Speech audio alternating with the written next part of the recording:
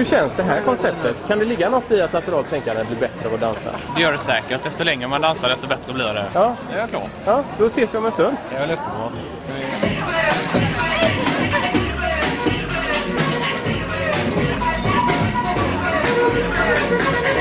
Lyckliga ut. Vad har ni gjort? Dansar du Har ni dansat mitt på lunchen? Vad tror ni det gör med er? Nytta. Nytta? Visste ni det att man blir 60% bättre på lateralt tänkande och problemlösning med hjälp av kroppsrörelse av det här slaget? 60%? Ja.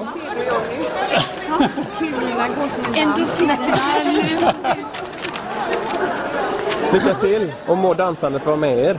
Ja, man har alltså provat i försöksgrupper att ge folk problemlösning av, av karaktären hur många användningsområden för en osthyvel kan du komma på? Och de som har dansat en kvart innan de gör den eh, uppgiften löser den 60% snabbare och mer effektivt.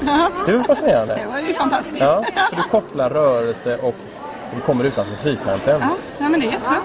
Man får liksom ut. Ja, Man kanske är lite så irriterad från ett möte så kan man låta och det bara- släpper också.